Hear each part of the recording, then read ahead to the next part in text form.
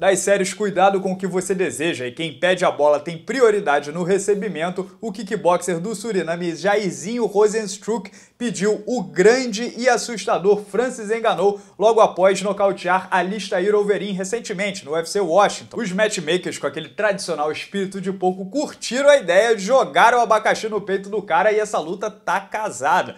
Francis Enganou e Jairzinho Rosenstruck vão se encontrar no dia 28 de março no UFC Columbus. Detalhe, essa é a luta principal, portanto estão previstos cinco rounds, mas tudo indica que não vai durar tudo isso. Eu não tenho como ter certeza, porque sabemos também que a expectativa é a mãe da decepção. Já vimos antes essa mesma linha narrativa envolvendo o próprio Francis Enganou, né? Duas carretas colidindo, os dois homens mais poderosos do UFC e fomos brindados com um verdadeiro concurso de encaradas. Francis Enganou versus Derek Lewis foi uma das lutas mais chatas, horrendas de 2018 e que venceu o cara que tocou o adversário uma ou duas vezes. Não houve engajamento, não houve nada. Sabe aquele velho papo de que dois caras muito bons num setor acabam se cancelando nele, né? Dois faixas pretas de jiu-jitsu, fazem uma luta de kickboxing amadora, dois strikers, um acaba botando o outro para baixo. Serve mais ou menos para esse caso, né? Dois pegadores viscerais com medo, né, de perder os sentidos publicamente, ser humilhado, perder a chance no UFC, acabam temendo o poder de fogo do outro e congela, né, trava. Mas a situação aqui é completamente diferente. O Francis, quando pegou o Derek Lewis, ele vinha de derrota para o Stipe Miocic, a sua primeira no UFC, luta por cinturão. Então tem todo aquele lance psicológico de duvidar de si mesmo, né? Todo mundo esperava que ele fosse ser o Mike Tyson do UFC, ele bota a mão e o cara cai e ele foi completamente dominado. Então ele tava ali com um pezinho atrás. O Luiz, por sua vez, também tava cabreiro, né? Pouco antes ele tinha sido nocauteado pelo Mark Hunt. Entre Jairzinho e Enganou, o panorama é completamente diferente. O Jairzinho é invicto no MMA 10-0, né? Tá em chamas, cheio de confiança e tem 85 lutas profissionais de kickbox, ou seja,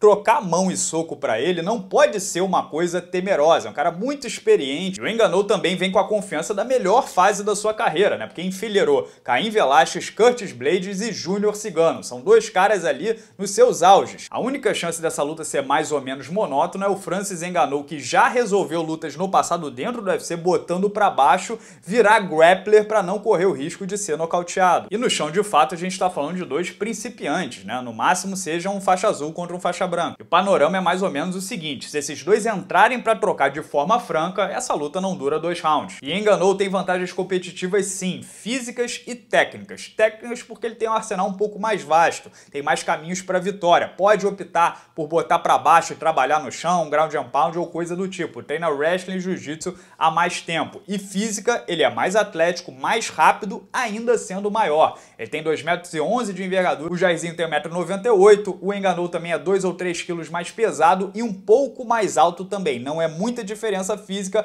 mas acho que ele vai estar mais ágil. Agora, de novo, o Jairzinho tem muito mais tempo de ringue, de trocar porrada profissionalmente do que o Francis enganou. Nessas 85 lutas profissionais de kickboxing, ele só foi nocauteado duas vezes. Então o cara tem um queixo sinistro, muita experiência e como a gente viu com o Alistair Overeem, poder de nocaute com golpes singulares, assim como enganou também, né? E o poder é tanto a ponto de depois de 24 minutos de uma luta que foi quase toda isometria, com Alistair Overeem botando ele para baixo e o neutralizando, né? Ou seja, o, Jair, o Jairzinho já estava com seus braços cansados, perdendo potência, ele foi capaz de, com um golpe, desfigurar o rosto do holandês e deixá-lo irreconhecível até para a própria mãe. O Jairzinho também está treinando lá na Flórida, na Hard Knocks, com Henry Hooft, né? um, kick, lendário kickboxer holandês, com Anthony Johnson e vários strikers de elite. Então o cara vai vir babando, porque essa é a grande oportunidade da sua vida. Na teoria também, quanto mais a luta se alonga, melhor por Jairzinho, que tem a experiência de fazer rounds mais longos, né? E o Francis enganou com toda aquela carcaça, suas mãos são muito rápidas, mas isso geralmente é mais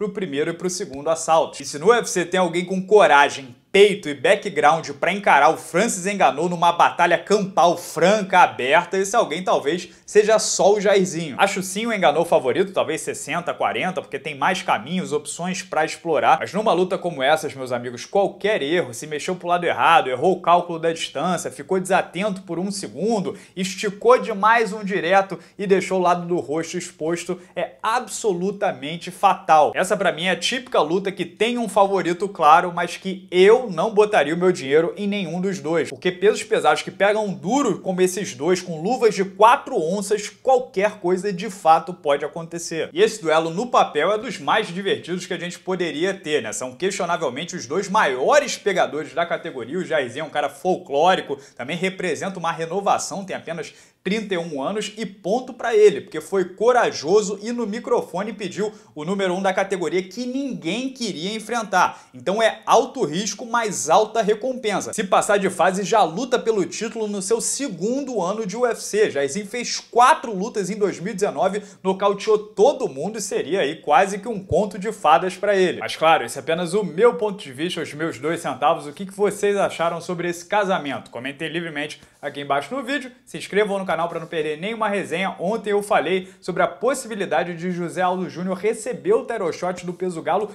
mesmo tendo perdido para o Marlon Moraes. Vocês conferem clicando no link aqui do lado. Fechado? Um grande abraço a todos, muito obrigado pela audiência de sempre e até a próxima.